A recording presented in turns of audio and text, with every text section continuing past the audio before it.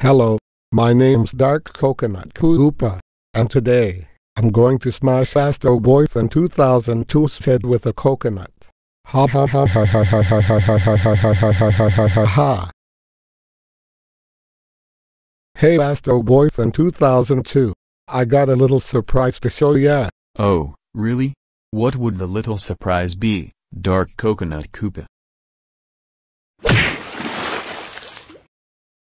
Ow ow ow ow.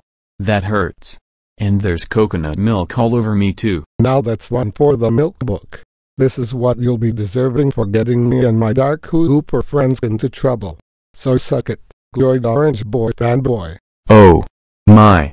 Goodness. Dark Coconut Koopa. You prickly brown white twit. How dare you smash my head with a coconut? You do realize that it's painful to smash people's heads with coconuts, right? And not to mention that you also got some coconut milk all over me. That is it.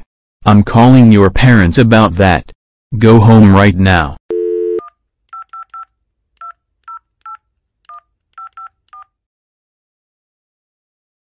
Hello. Dark Coconut Koopa's parents. Your son smashed my head with a coconut.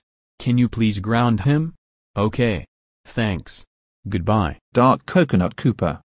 We can't believe you smashed Astro Boyfriend 2002's head with a coconut.